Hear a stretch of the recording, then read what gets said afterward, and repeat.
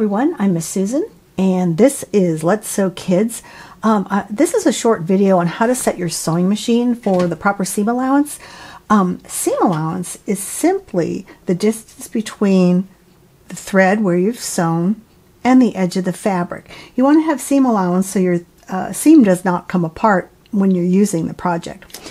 Um, when you begin a sewing project, somewhere in the pattern or the instructions, the writer will note that what seam allowance is needed to complete correctly complete the project. Um, you will need to use that correct seam allowance in order for all pieces to fit together correctly. So here's a couple ways to set up your sewing machine for the uh, correct seam allowance. The first one is needle plate markings.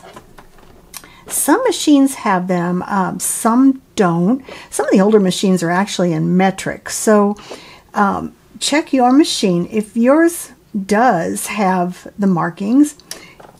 And here's some of the markings here. You can see this uh, 5 eighths.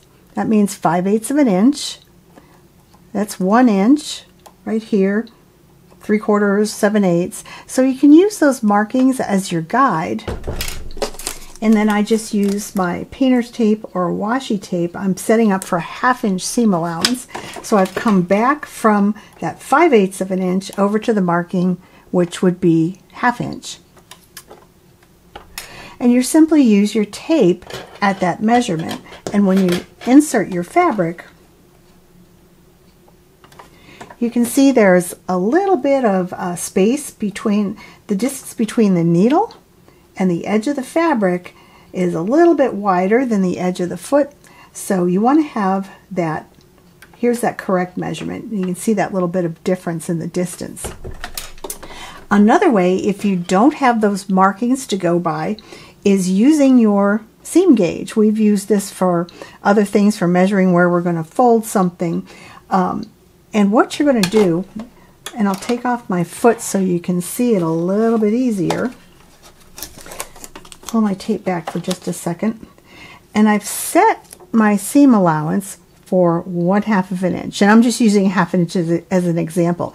Your seam allowance might be 3 eighths of an inch, it might be 5 eighths of an inch, it might be a full inch. So you're just going to set your seam gauge for the measurements that, that's called for in your pattern. So this is a half of an inch. And what I do is I'm going to turn my needle, um, my hand wheel, so my needle is down into um, bobbin area and I'm going to measure, I'm putting the edge, my little slider, against my needle. And now I know that what I want is half of an inch and I'll use my tape. And let's see if I can show you. So see how my the little, little blue slide is right where the needle is and then the edge of the um, seam gauge is where I'm going to place my tape. So that's the, that's the easiest way to do that. It's real simple.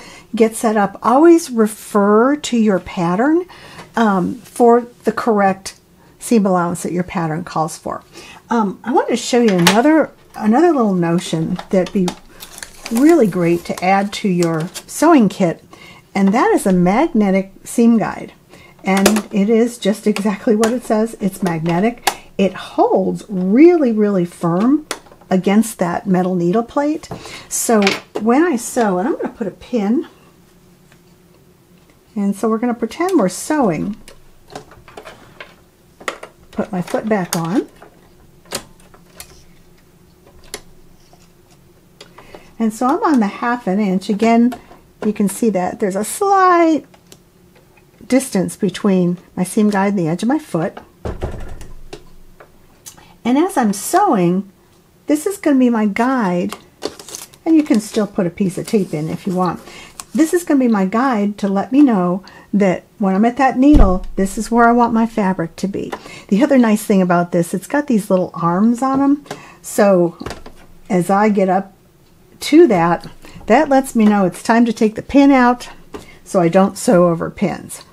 So practice uh, setting up some different seam allowances until you're comfortable. Um, always double check your measurement before you start sewing.